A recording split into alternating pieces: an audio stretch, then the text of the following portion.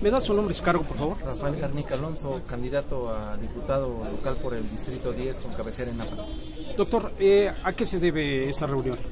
Hoy ante los medios eh, hicimos de conocimiento que 23 eh, compañeros de la Universidad Autónoma del Estado de Hidalgo, eh, de acuerdo a los estatutos y en respeto a la legislación universitaria eh, que corresponde al artículo 70, fracción cuarta, presentamos ante la Secretaría General nuestra solicitud de licencia sin goce de sueldo a partir del día primero de abril al día 15 de junio con la finalidad de que como ciudadanos libres podamos participar en el siguiente proceso electoral en nuestro estado.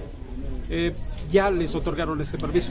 Es correcto, hoy se nos fue entregado nuestro, nuestro permiso autorizado y que bueno, que a partir del día 3 eh, de abril, día domingo, pues andaremos en las calles pidiendo el voto ciudadano con la finalidad pues, de poder eh, llegar a, al Congreso del Estado.